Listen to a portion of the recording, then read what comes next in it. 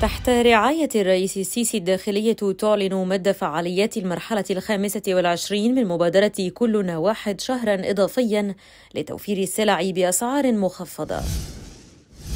وزير الداخلية يعقد اجتماعا لمتابعة الخطط الأمنية لاحتفالات عيد الفطر المبارك ويوجه بالانتشار الأمني المكثف لتأمين المنشآت الحيوية ودور العبادة.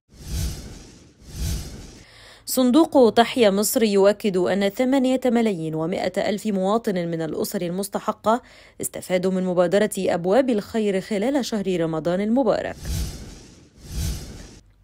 وزير الخارجية يؤكد لنظيرته الأسترالية ضرورة وقف الاعتداءات الإسرائيلية ضد المدنيين الفلسطينيين وموظفي الإغاثة الدوليين في قطاع غزة.